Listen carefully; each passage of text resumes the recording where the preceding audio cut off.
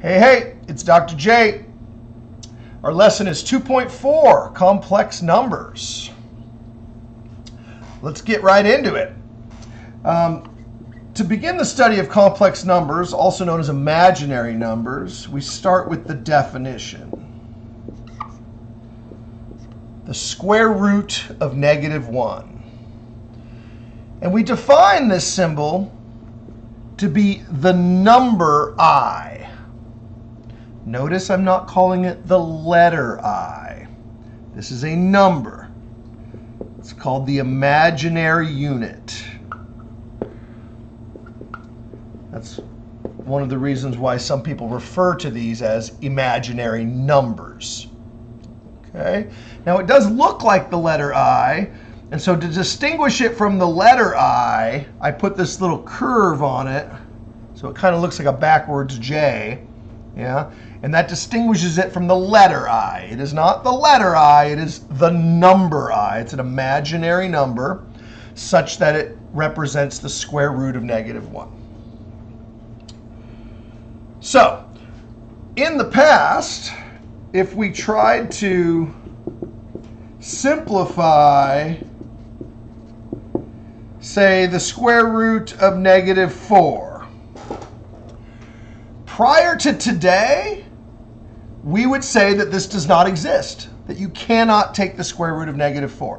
In fact, um, if you think back just a couple days ago when we were doing the distance formula, if you were using the distance formula and you calculated the square root and you got a negative inside the square root, you would stop and you would probably go back and redo the problem because this would mean that you made a mistake. Yeah? But in this section, we're intentionally putting the negative inside the square root to give us the imaginary unit. So to simplify the square root of negative 4, you would write this as the square root of 4 times negative 1 so you would factor the negative 4 as positive 4 times negative 1. We would simplify each square root individually. I can go ahead and remove the parentheses now because I don't necessarily need them. You might wonder, why did you use them in the first place? Well, I don't want that to look like subtraction. I want it to look like multiplication. So uh, whenever I have multiplication of a negative number, I like to use parentheses to make it very clear that I'm not subtracting. And now I can take the principal square root of 4, which is a positive number, just 2. And then using this definition, the square root of negative 1 is i. So this is 2 times i, or we will simply write 2i. This is what we call a complex number, also known as an imaginary number.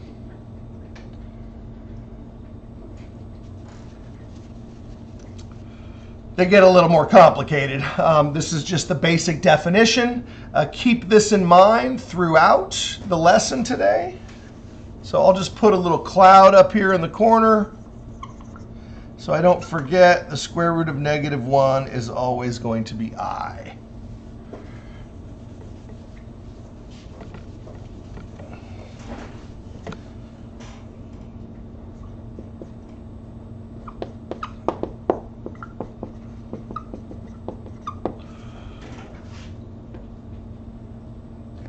Trying to get the autofocus. Come on.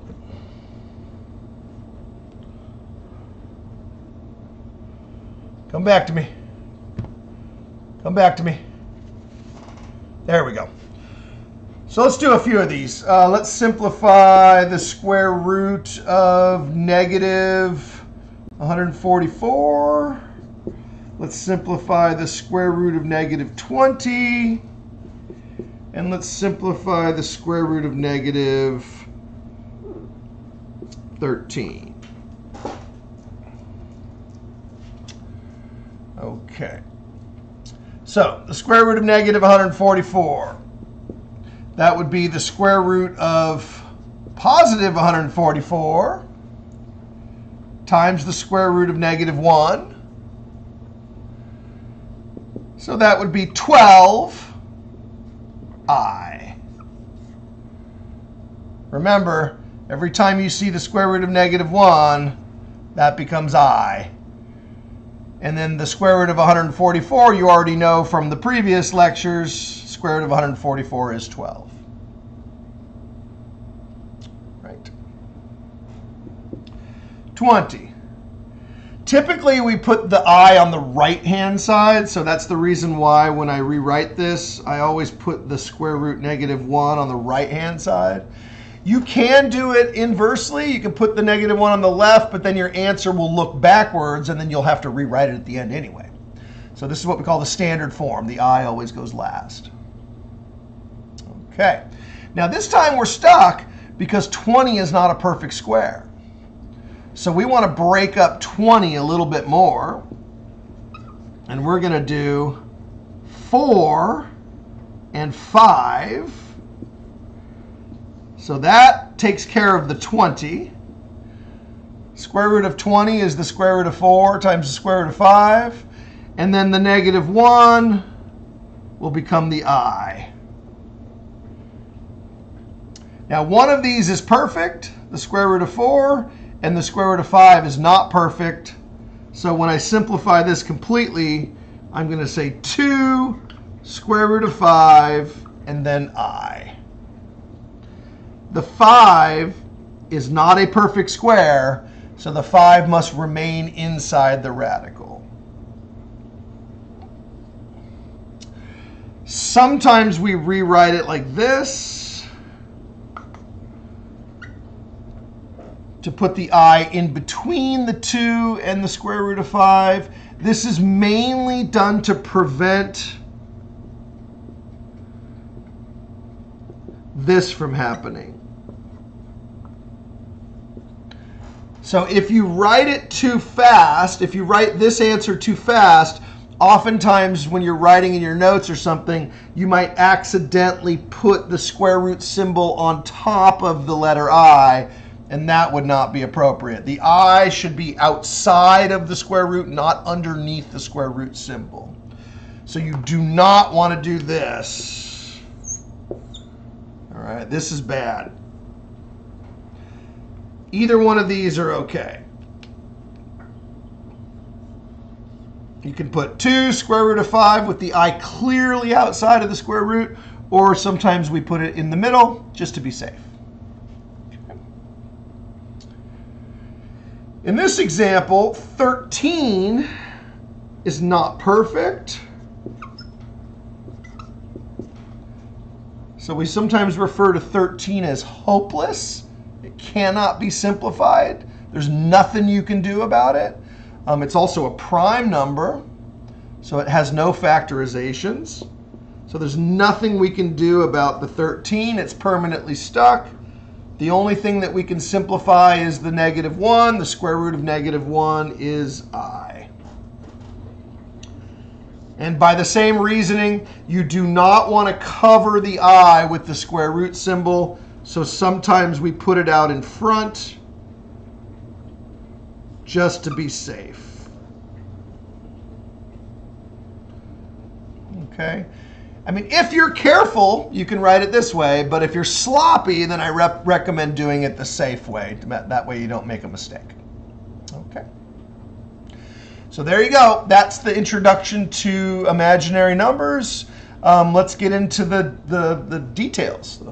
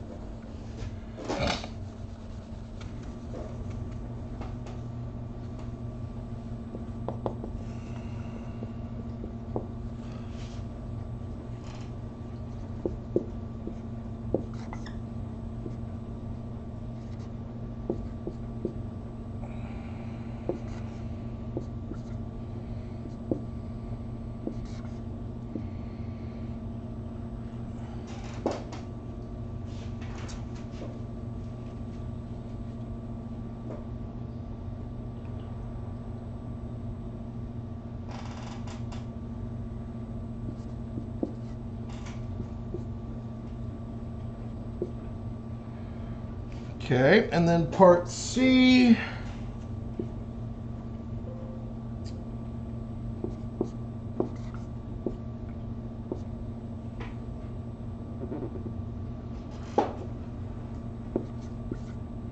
There we go. Okay, they're getting a little harder now, a little more complicated now. Um, so we need to be careful here. We have a negative on the outside of the square root, and we have a negative on the inside of the square root. And one of my biggest pet peeves, if you've ever had my class before, if you've heard me talk, I'm annoyed by the phrase two negatives make a positive.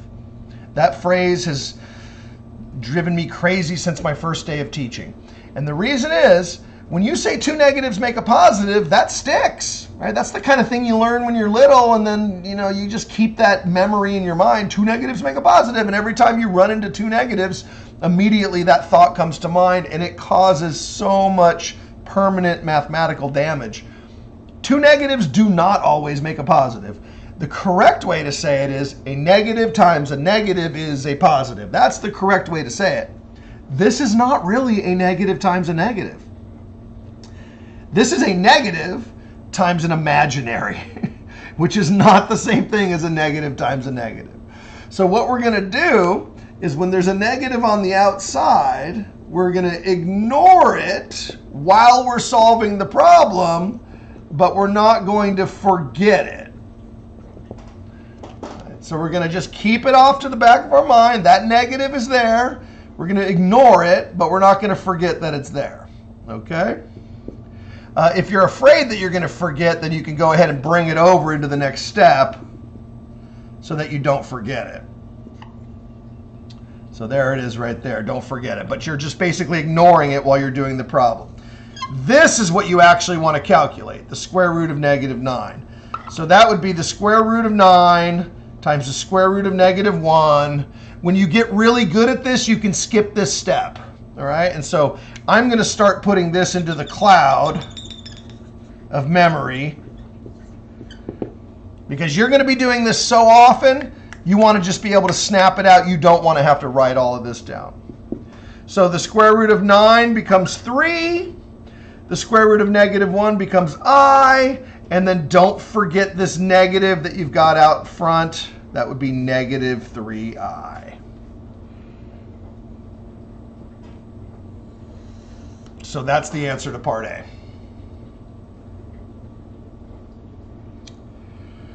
Okay, part B. Notice the 16 is not negative. So this is just an ordinary square root. Square root of 16 is 4. Square root of negative 25. I'll do it in the cloud.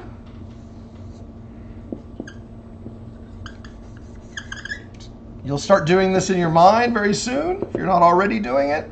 That would be square root of 25 and square root of negative 1. So the 25 would be 5. Square root of 25 is 5. And the square root of negative 1 is i.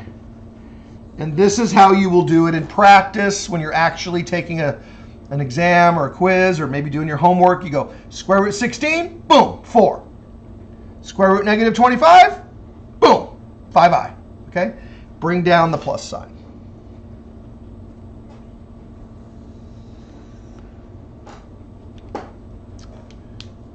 Last example, or last part of this example, negative 4. Ignore it. Kind of like we did over here. Ignore the negative 4, but don't forget it. Anything outside the radical, you just want to ignore it for a second.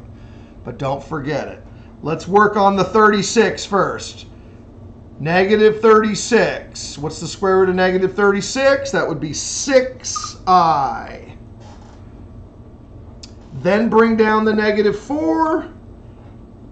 Now multiply them. Negative 24i.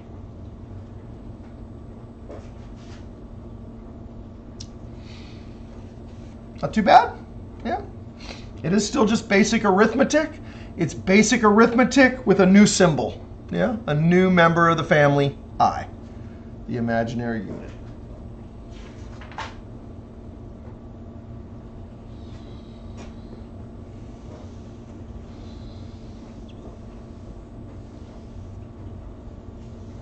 Uh, maybe let me do a part D, just while I have your attention here.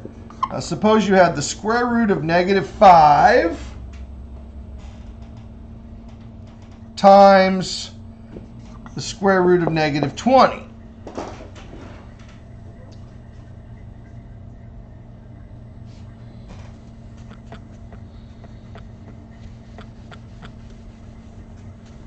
I'm just adding this in at the last second so that we can uh, com uh, complete that particular piece of it.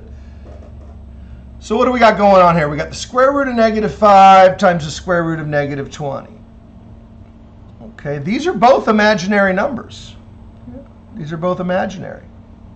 So we're going to simplify them separately. The square root of negative 5 is i times the square root of 5. I'm going to give you a handy little trick. You can just take any negative outside of the radical, remove it, and call it i. Yeah? Because that negative sign really means the square root of negative 1. So anytime you see a negative inside the radical, you may remove it and call it i. And now times, you've got another one. So you're going to have another i, and then a square root of 20. Now, where do we go from here? We still need to simplify these radicals. Yeah. So here's a trick. Why don't we put our i's with our i's and our radicals with our radicals? Don't we always do that in mathematics, right? I's with i's, radicals with radicals, x's with x's, y's with y's. So we have i times i, and then we have square root of 5 times the square root of 20. So i times i is i squared. 5 times 20 is 100. Yeah, square root of 5 times the square root of 20, 100. Yeah? So now what? Well, i squared times 10. Because the square root of 100 is 10. Now here's where it gets tricky. Here's where it gets tricky. What is i squared? So we got to do a little recall, the square root of negative 1 is equal to i. Yeah, from the very first thing I wrote on the board today. But I don't have i, I have i squared. So i squared, if I square both sides, I get i squared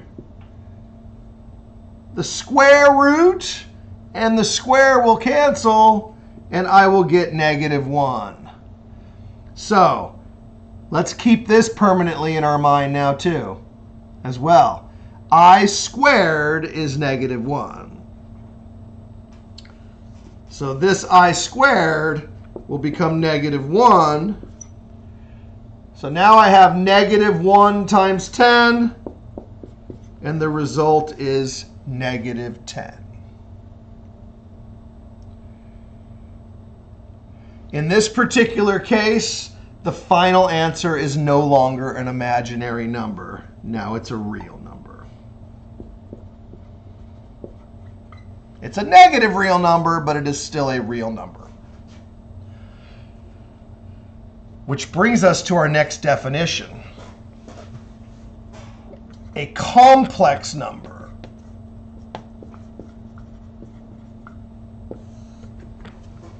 A complex number is A plus BI.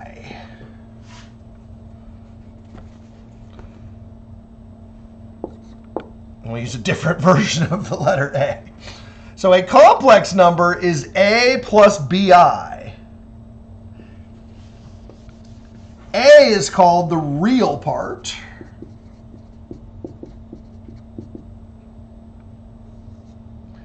And B is called the imaginary part.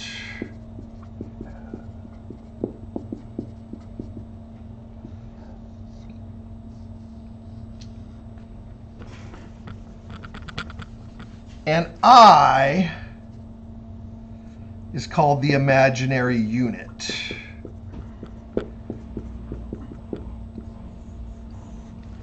So a complex number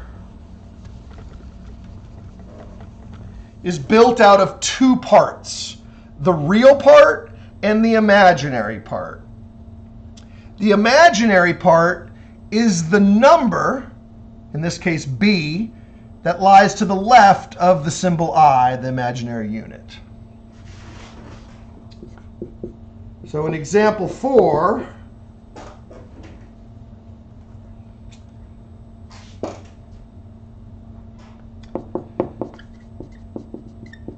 identify the real part and the imaginary part.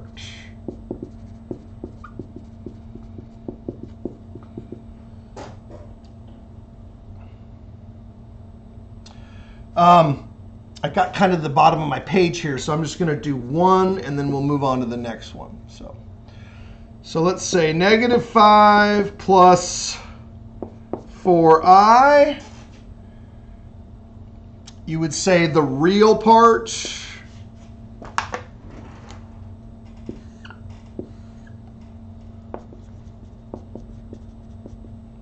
the real part is negative 5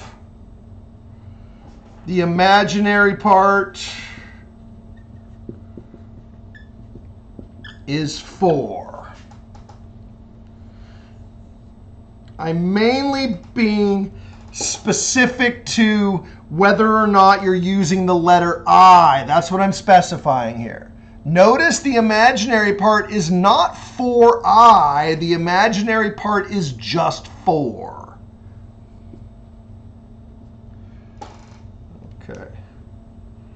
Now, I know what you mean. You know, if you're talking to somebody and you say 4i, then the imaginary part, I understand what that means. But when you type it, you cannot type 4i. You just have to say, the imaginary part is 4. It's understood that it has the letter i because you're using the word imaginary. I know. It's math. We have to be that way. We don't want to be. We have to be. Um, I'm just going to go ahead and continue the same question here. I'm just going to kind of roll, roll it back to the top here. So how about um, 6 minus 5i?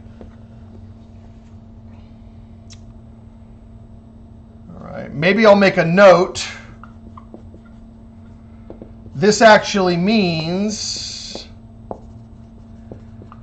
6 plus negative 5 times i. But nobody wants to write 6 plus negative 5. Not even myself. I don't want to write that. So I just write 6 minus 5i. So maybe I'll just put that in one of my clouds so that when I'm reading the question, I understand that that's what that actually means. All right. Although nobody's actually going to write it this way, we'll always write it this way. So the real part is 6 the imaginary part is negative 5.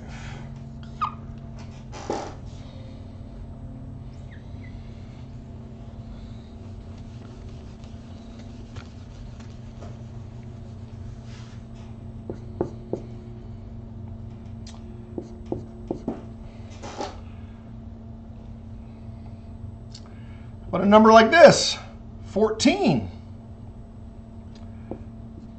14 actually means 14 plus 0i.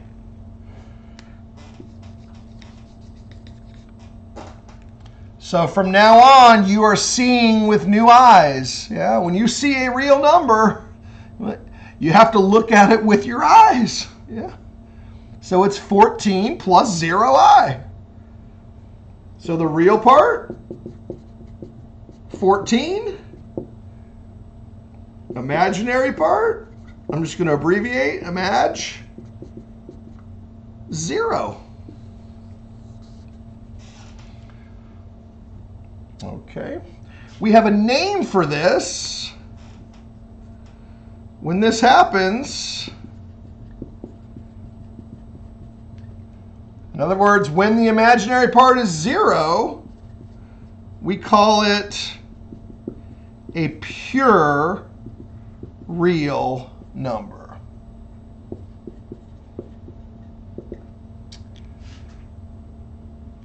So this is called a pure real number. It has no imaginary part.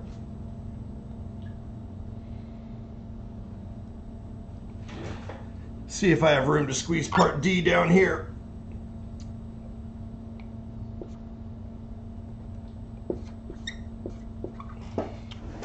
Eight I. Okay. Let me do the same thing I did up here. What does 8i really mean? It really means 0 plus 8i. That's what this means. So 14, 14 means 14 plus 0i. 8i, 8i means 0 plus 8i. So the real part is zero. There is no real part. Imaginary part is 8.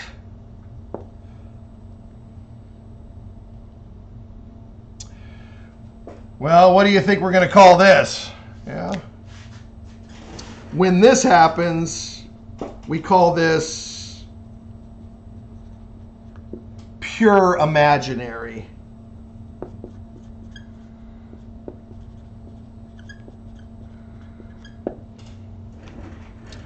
So part D, pure imaginary. Part C, pure real. Part B, complex.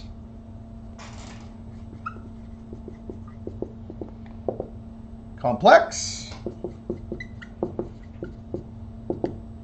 Pure real.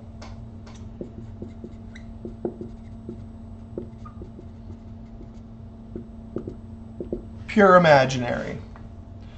So every number real, imaginary, complex can be put into one of these three categories complex, pure real, or pure imaginary.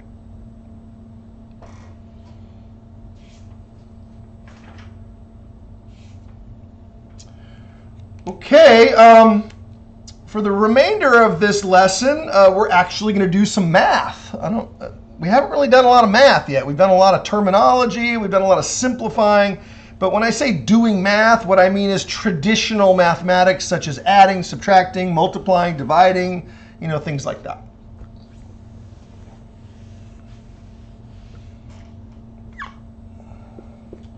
Let's start with addition.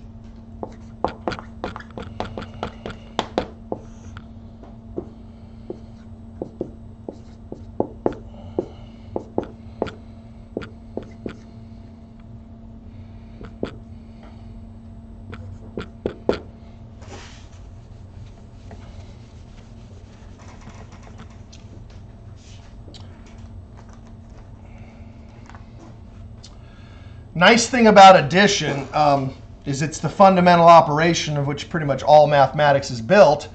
And once you learn it, you learned it. You've already learned it. You already know how to add. So I'm not really going to be giving a huge, you know, lecture on addition. I'm just going to assume that we already understand the concept of addition in its abstract sense. But at, when it comes to imaginary numbers, we have to be very careful. We first have to group the real parts together and the imaginary parts together.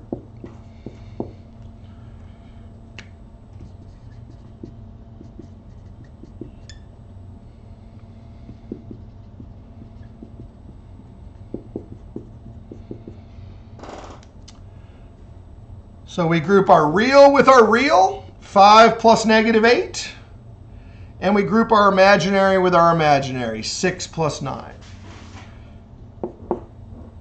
5 plus negative 8 is negative 3. 6 plus 9 is 15i. And that is it, my friends. The real and the imaginary stay separate. Real with real, imaginary with imaginary. That's really about it. Um, now, the numbers could be different. Um, there could be different combinations of signs. But the basic idea is when you add, you add real to real and imaginary to imaginary. Won't make too big of a deal about that. Uh, we'll be doing more of this as we move along. Let me run through all four operations, and then we can see how everything works as we move through the material.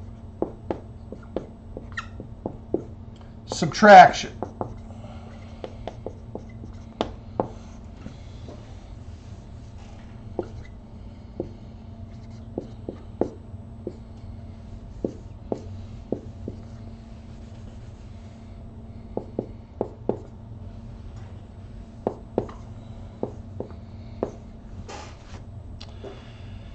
You need to be careful with subtraction. Um, now, I'm not sure how you learned it in whichever class you had, but if you had my basic math or my pre-algebra or something like that, intermediate algebra, anything below this level, and you had me before, you know what I'm about to say.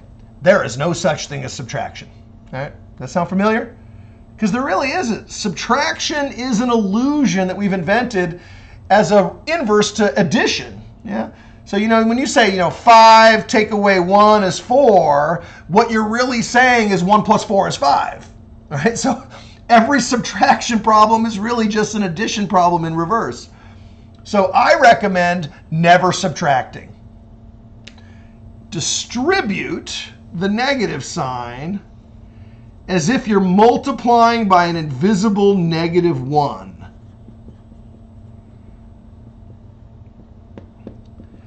That's what a subtraction sign means. Subtraction sign means that you are multiplying by negative 1. Now, you won't see the 1. This is what the problem will look like. Yeah, But a subtraction sign means multiplying by negative 1. Yeah. And then you're going to change this to addition. So this becomes an entirely new problem.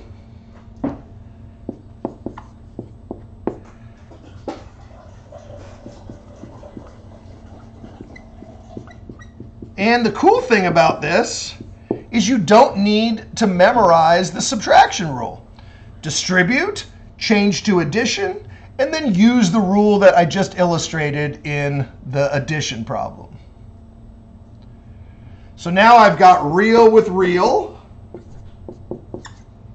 These are my reals. And then I've got imaginary with imaginary. I like to put parentheses around the negatives. Although if you omit the parentheses, you're going to get the same thing. It's just a little bit dangerous. I mean, it's it's correct. You could omit all of these parentheses and you're still going to get the same result. Okay. Down here, if I omit the parentheses, it just looks funny. So I'm going to keep them for one more step. So I've got 6 plus 3 is 9. And then I've got negative 9 and negative 13. That's negative 22i. And see how this looks funny? 9 plus negative 22i. So we typically just say 9 minus 22i.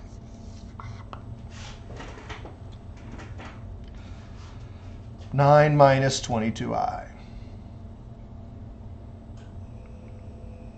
So that's subtraction.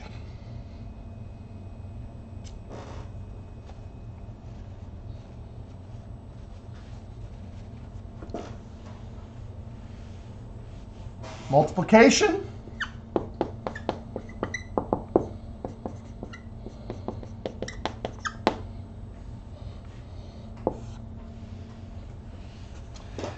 Actually have to do a couple examples of multiplication because there are several uh, possibilities for this. Um, so I will break this one down into an ABC. Multiplying is a little more complicated. So let's go ahead and do um, 6i times negative 3i. Now I'm just going to do A, B, C and keep it all as example 8, okay? So um, 6i times negative 3i is 6 times negative 3. Yeah. And then i times i. Uh, you can use parentheses or you can just use a dot. Okay, so remember real with real, imaginary with imaginary. 6 times negative 3 is negative 18. i times i is i squared. Remember our memory cloud that we should keep in mind? i is the square root of negative 1. i squared is negative 1.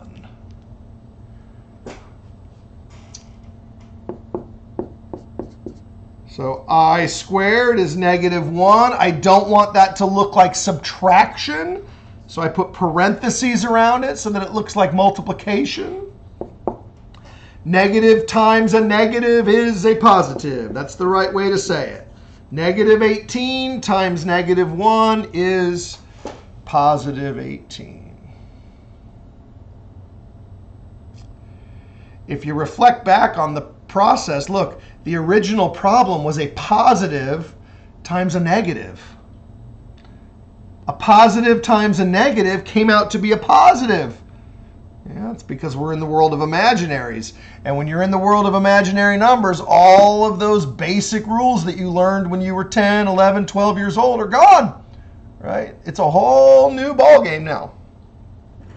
Whole new set of rules. It doesn't mean that the old rules aren't true anymore. They're still true. It's just they've been extended to a larger set now. Yeah, so we're outside of the real numbers. We're in a much bigger universe. Um, I'm going to have to just do these one at a time. So that's part A. Let's call this part B.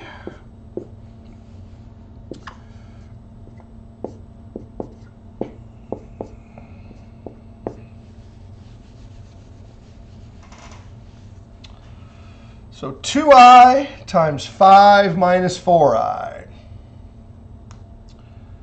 So this is the distributive property. You're going to distribute the 2i. So now you're going to have 2i times 5. Well, that's 10i. 2i times negative 4i is negative 8. Now be careful. i times i, we just did this, is i squared.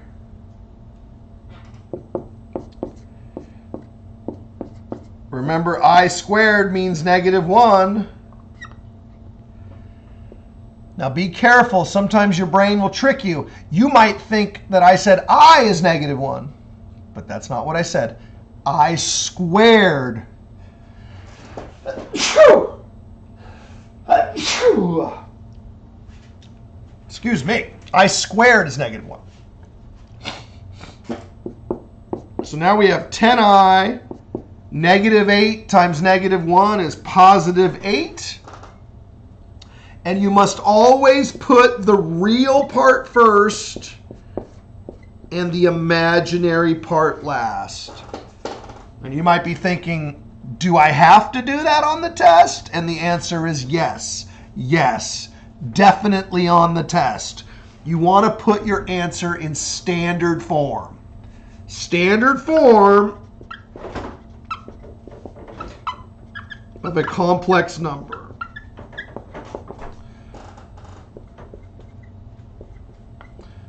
In other words, real part first, imaginary part second. That is the standard form of a complex number.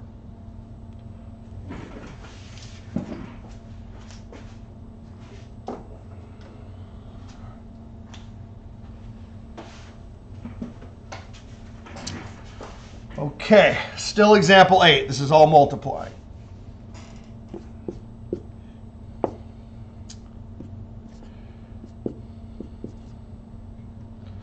Sorry, it's a 6, not a 5.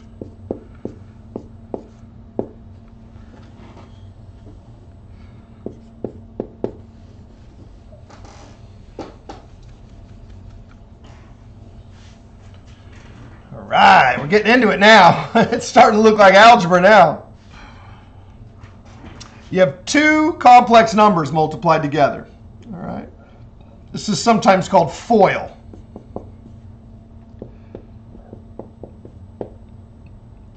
FOIL stands for first pair. That's F. Outer pair. That's O. Inner pair. That's I capital I, and last pair. So FOIL stands for first, outer, inner, last. All right, so first, outer, inner, and last just in case you're a little rusty on your basic algebra. I don't know. Some of you might have learned this 10 years ago. Some of you might have learned it 10 months ago. I don't know. So, first pair first. So, negative 2 times 3, that's negative 6. Outer pair, negative 2 times negative 7i. That's positive 14i. Be really careful with your negative signs. Sometimes it's helpful to do this. That way you know that you're multiplying two negative numbers. Do whatever it takes to get it right. Okay. Inner pair, 6 times 6i times 3. That's going to be 18i. And then the last pair, positive 6i, negative 7i. That's negative 42i squared.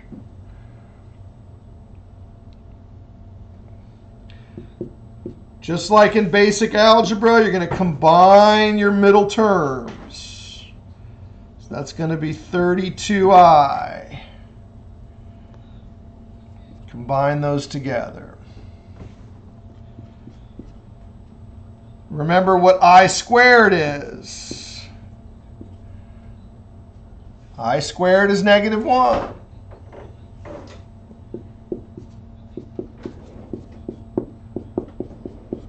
Negative 42 times negative 1 is positive 42. Finally, you want to put this in standard order. So 6, negative 6, and positive 42 Combine those together to be 36.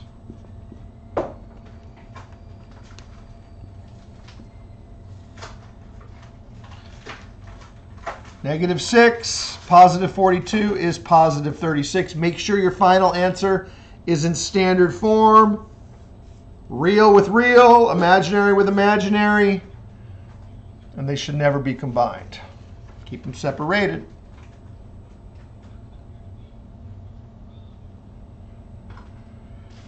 This is quite a problem, isn't it? Yeah. Well, we're going to spend a lot of time on multiplying because, as you can probably imagine, multiplication is one of the fundamental operations that you have to be proficient in. Last example.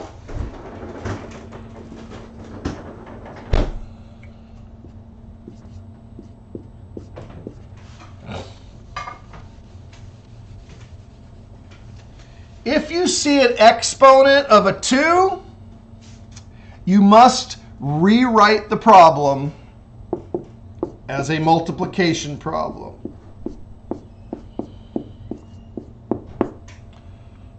Okay. You want to see a way to instantly fail a question like this, get a zero points on a question like this? If you take that exponent and just put it inside like that, you will always get zero. You'll get no credit whatsoever. So never distribute the power. So I don't ever want to see you doing this. All right? Don't do it.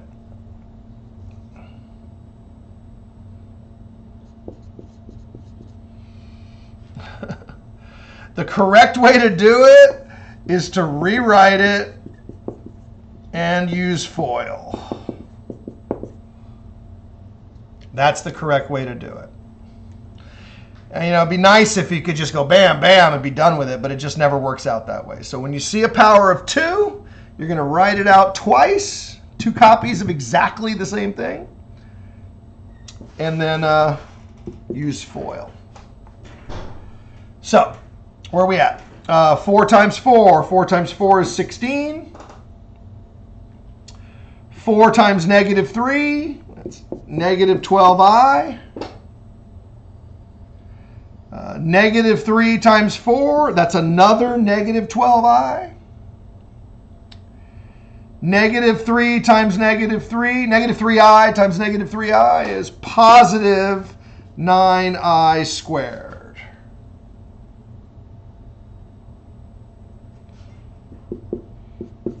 Combine these 12 i's. They're both negative. Negative 12, negative 12 is negative 24. You're combining them. Y'all remember what happens to the i squared? I know I sound like a broken record, don't I? Just say the same thing over and over again.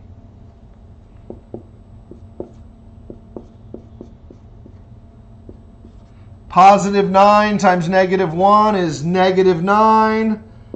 Finally, real part with real part, 16 and negative 9 is 7. And then the 24, negative 24i goes last. And there you go.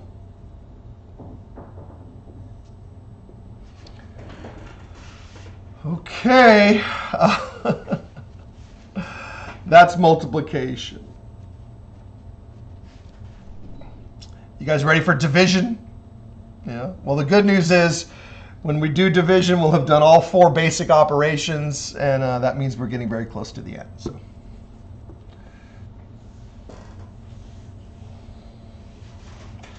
All right, so before we do division, we need some more terminology, some vocabulary.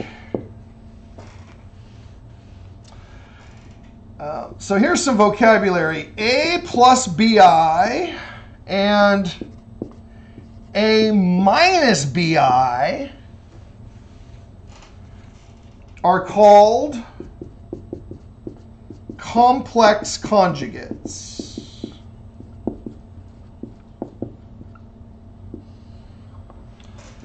Called complex conjugates. Sometimes we just say conjugate if the word complex is clear by the section that we happen to be studying.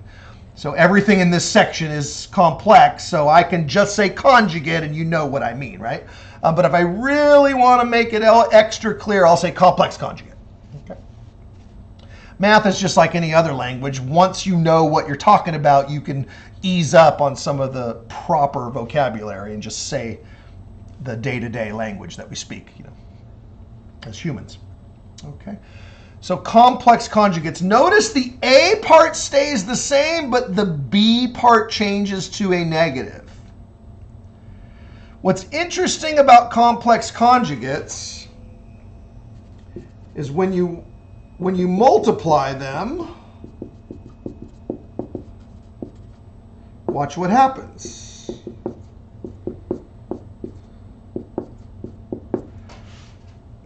Something amazing happens.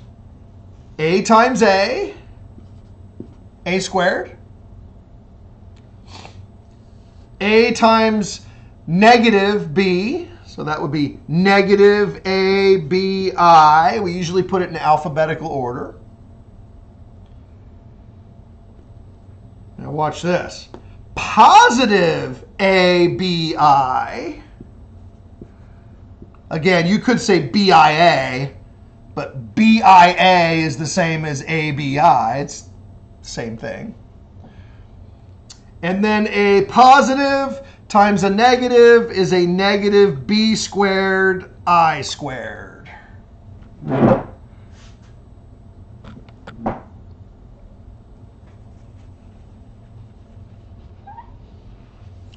just going to make that fit. Sorry about that. A squared, negative ABI, positive ABI, negative B squared, I squared. Does that fit now? There we go. Now, last time we did a problem like this, the middle terms combined. But this time, they cancel. One of them is negative, the other one is positive, so these guys are gone. There's no more ABIs anymore. So all we have is a squared minus b squared i squared. But i squared is negative 1. So this becomes a squared plus b squared. Yeah. This is now a real number.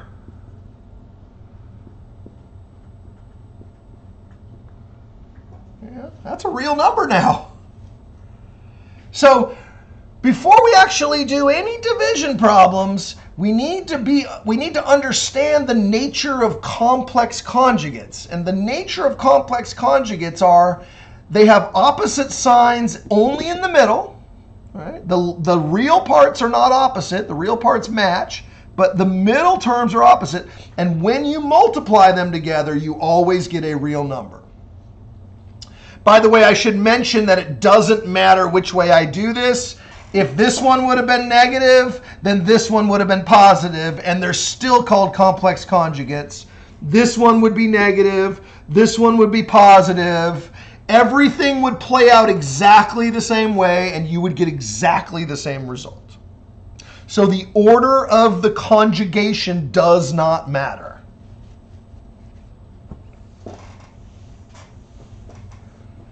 Example 9. One more multiply.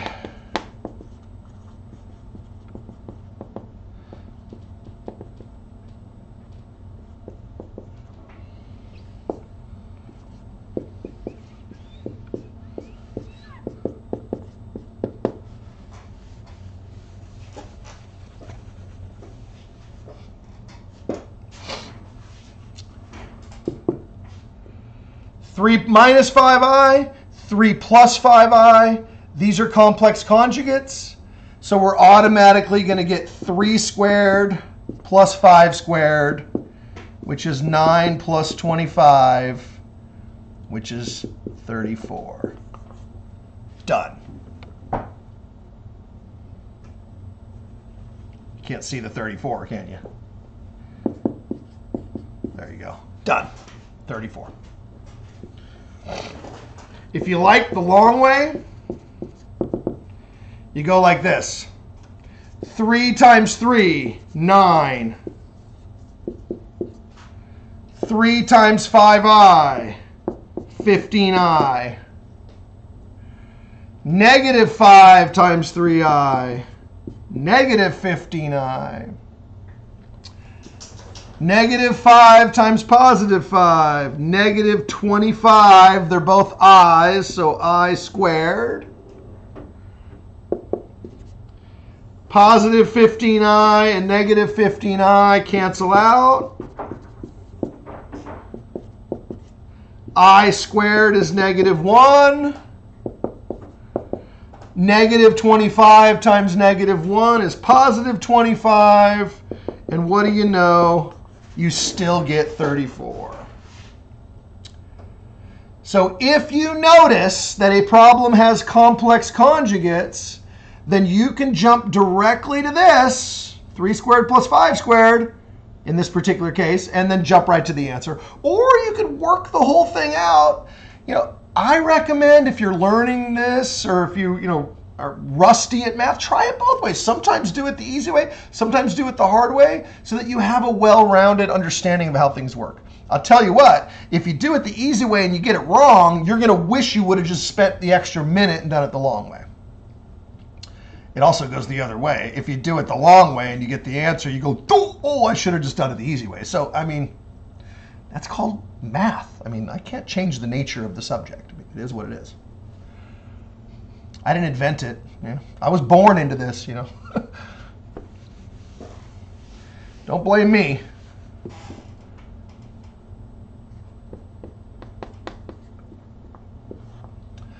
Finally, we can talk about division. So if I want to do uh, negative 4 plus 6i divided by 10 minus 2i. Um, now, I'm going to do several of these, so let's just call this part A again, and I'll go through several different iterations. Multiplication, division need more than one you know, example to be able to understand it. All right. I mean, maybe you can get it in one, but I mean, it always takes me a couple.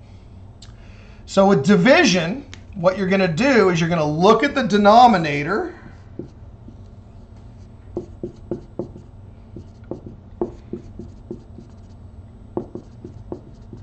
and find the complex conjugate.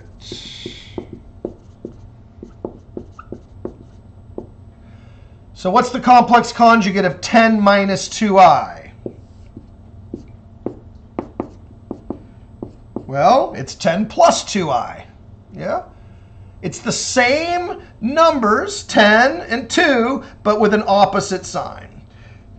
And I would go ahead and add in a set of parentheses there so that you know that you're multiplying those together. And then make sure that you multiply the numerator and the denominator by 2i. This is what we call a special form of 1. So it's 10 plus 2i on top, 10 plus 2i on the bottom. Now bring your own parentheses. They will not be provided for you. so you as the student have to introduce your own parentheses in order to um, solve this correctly or simplify this correctly. That is the division process. Notice that I'm not actually dividing. Yeah?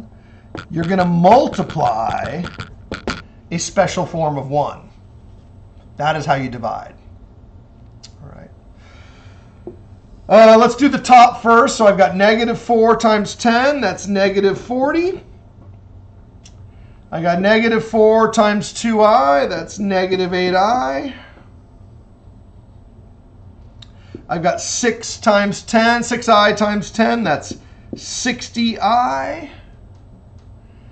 And I've got 6i times 2i, that's 12i squared.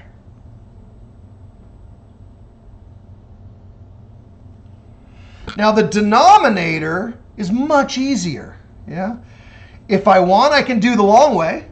10 times 10, 10 times 2, 2 times 10, 2 times 2. I could do it all out. Or I could use what we just learned. 10 squared plus 2 squared. No more i's. no more i's. It's a squared and b squared. That's it. It's that simple. Uh, let's go ahead and simplify the top. We've got negative 40 We've got 52i, combining the negative 8 and the 60. Um, and then we have negative 12. Right, notice that i squared is negative 1. So that changes this 12 into negative 12. If you want to show the step, it's 12 times negative 1 in your head there. That's how it became negative 12. Uh, the bottom is much easier. It's 104. Yeah, 10 times 10 is 100. 2 times 2 is 4, so the bottom is 104. Denominator is 104. Combine the like terms here. So you're going to get negative 52 plus 52i. Uh, it's a coincidence that those are both 52. Uh, divided by 104. All right. And now the complicated part. This is the complicated part. You cannot leave your answer like this. All right. You must simplify if possible.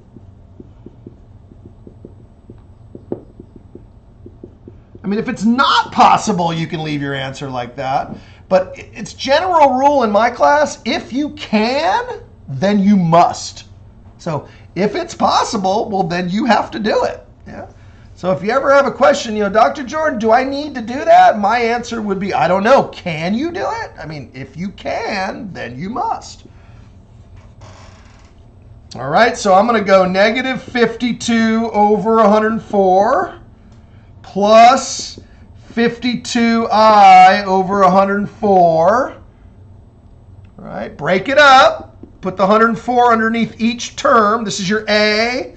This is your B. And then if it's possible, simplify it. If it's not, then go back to this. This would be fine. Okay? 52 goes into 104 twice. So that's negative 1 half. Right? If you have to actually write it all out, you'll get a decimal 0.5, or you could factor it out. Um, make sure that you don't accidentally write 2. Right? If the 104 was on top and the 52 was on the bottom, yeah, then it would be negative 2, but it's not. So that's 1 half. Oh, coincidentally, this one's also 1 half. And then make sure the I goes off to the side, or if you want, you can put it up top. Either way, that's fine. Do not put the I back in the bottom. That would be marked incorrect if the I was in the bottom. So I would accept that answer, or I would also accept this answer. That would also be true. Uh, what else would be true? Uh, because it's a 1, you don't even have to write it. You could just say I over 2 because that happens to be a 1i. Yeah. And there's actually one more correct answer. You could just write the 2 once. And that would also be correct. I probably, personally, if this were my homework, I'd probably just stop right here. All right, so this is tomato, tomato, tomato, and tomate. You know, there's lots of different ways to say tomato.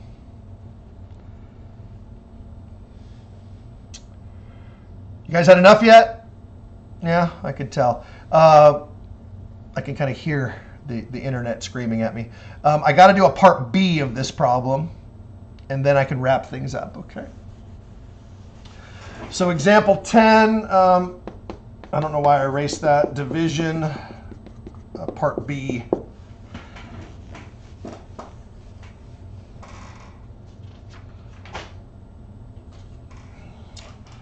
negative 3 minus 6i divided by 3i.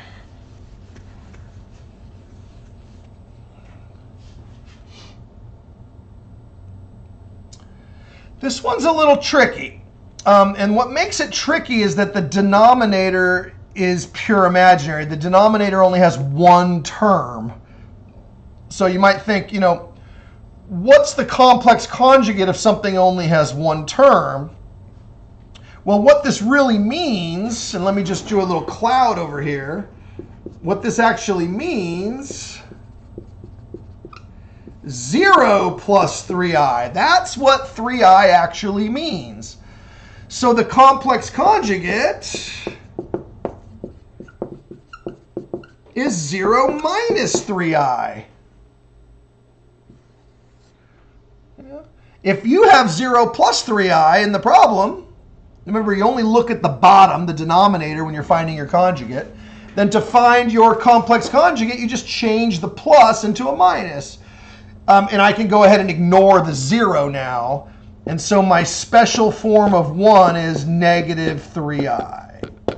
And remember, bring your own parentheses. They will not be provided for you. If you want to actually put the zero here, it's not wrong. It just makes more writing for you to do and it makes more steps, but it wouldn't be wrong. I'm going to omit it because zero is zero and it's not necessary to write the zero. Okay, so we're going to use the distributive property. Since this only has one term, you don't have FOIL, you just have FO, F-O. Two, it's half of FOIL. So I've got negative 3i times negative 3. That's going to be 9i squared. Negative 3 times negative 6i is positive 18i squared. Sorry, I made a mistake. I'm glad I caught it. Negative 3i times negative 3 is just 9i. Catch that mistake before I get too far down the road. The second one is negative 6 times negative 3, which is 18i squared. The denominator is 3 times negative 3, which is negative 9. These do both have an i, so it's i squared.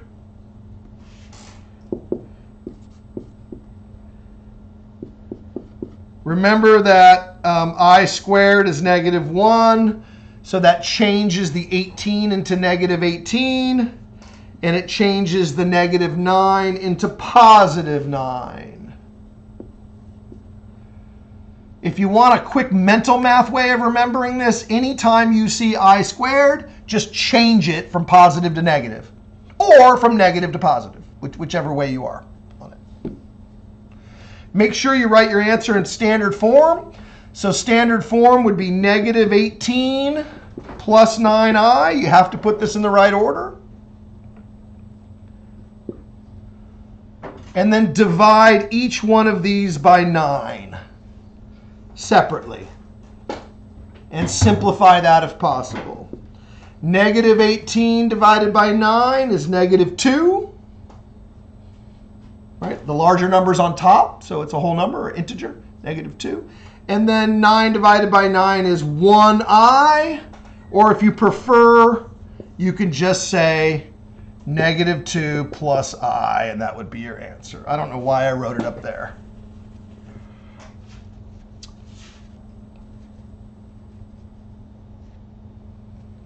Maybe I'll write the answer way up here.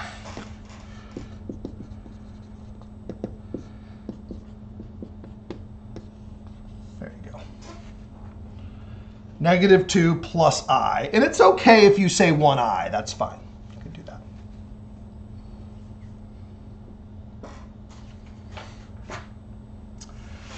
Okay, um, that's pretty much it. Um, I do want to just briefly, before I log out here, before I close the, the lecture, I'd like to briefly talk about powers of i. We'll just take a couple minutes to go over those.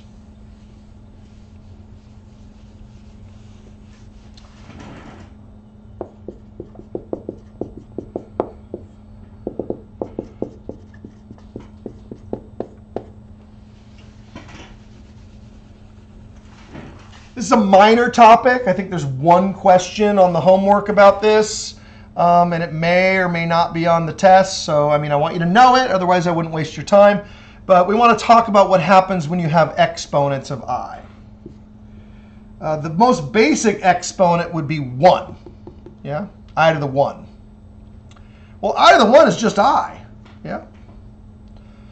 And for the sake of argument, I'm not really going to simplify any further than that. All right, so that's as simple as it gets, is i.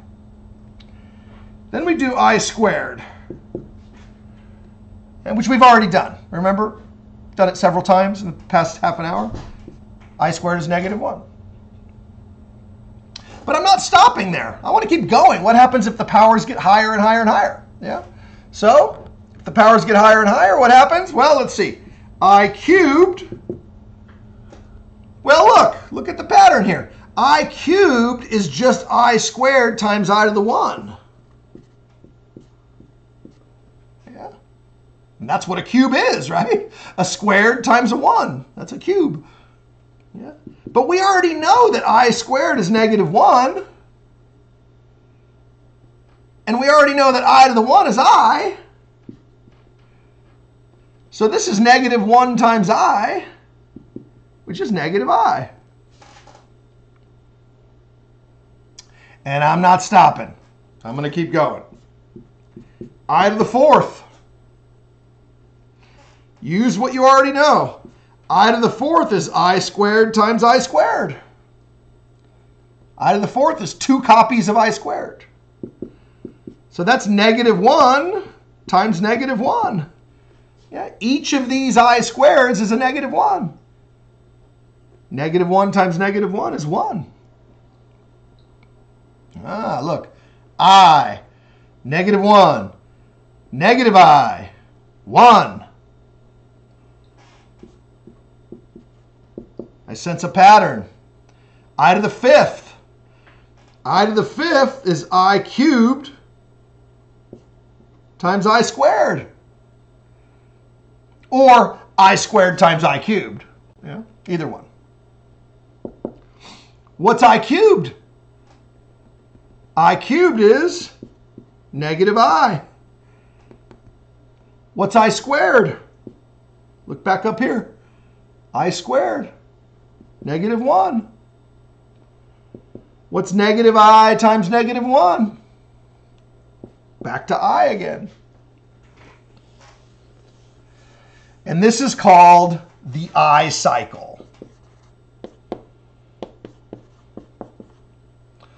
A cycle is, you know, like the sun going around, I mean, the, the earth going around the sun. I almost said the sun goes around the earth. You know what I mean. The earth goes around the sun. That's a cycle, right? It goes around and it comes right back to the same place every year. You go out on June 21st and you're back to the summer solstice again. We just had that a couple days ago. And in 365 and a quarter days, you're going to end up right back at that exact same spot again. Yeah? Cyclic. Goes around like a cycle. Yeah? This is called the I cycle. It repeats this pattern over and over and over again, kind of like the seasons spring, summer, fall, winter, spring, summer, fall, winter, spring, summer, fall, winter. And it always goes around in that way. Over and over and over and over again, just like the seasons of the year. So there are only four seasons in the I cycle. It starts with negative with I, and then it goes to negative one, and then it goes to negative I, and then to one, and then back around and around and around and around. And so I would be if the power is one, five, nine, just keep adding four, 13, 17, etc., etc., etc., etc. Negative 1 would be if the power is 2, add 4, 6, add 4, 10, add 4, 14, etc., etc., etc. Negative i would be if the power is, start with 3, and then add 4, 7, add 4, 11, add 4, 15, etc., etc., etc.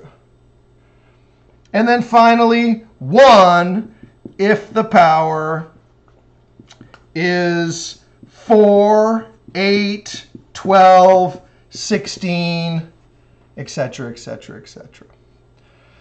So my last example before I shut this down is the I cycle. I'm going to give you a very big power, although it won't be that big, you know, maybe like 30 or 40 or 90 or something like that.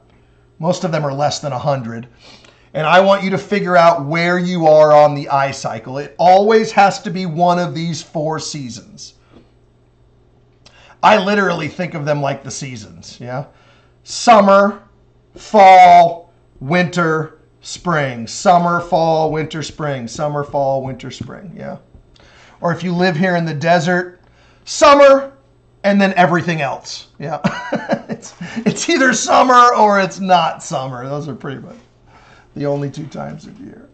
So the last example um, simplify the powers of i. Let's just do maybe two of these. Um, let's say um, i to the 73rd power. And let's do i to the 42nd power. Now, by the way, if you totally forget and it happens to be on a test or something, just count. One, two, three, four. One, two, three, four. What? Just go around and around and around and around until you get to 73. 73 will end up somewhere on that cycle, and wherever it lands, that's where it lands. Just make sure you start at the north. You know, start in the north, that's your summer, and then go around counterclockwise if you want to get it right. All right. Here's the trick, okay? Just use a little math and divide this by 4. Always divide by 4. Don't use your calculator. Your calculator will screw you up. So 4 goes into 7 one time. Bring down the 3. 4 goes into 33 eight times. Remainder 1. So this is i to the fourth to the 18th times i to the 1. The remainder always goes last.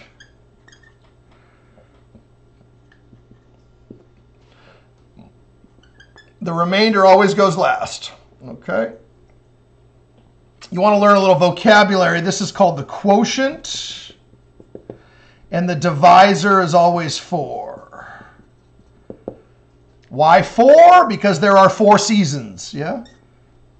Summer, fall, winter, spring. Summer, fall, winter, spring. Goes round and round and round.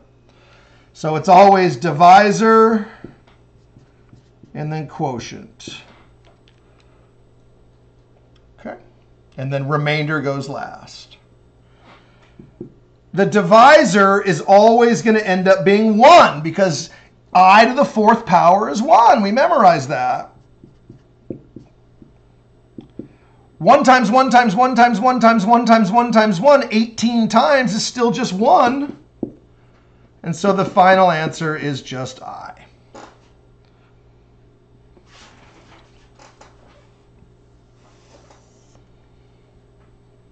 All right.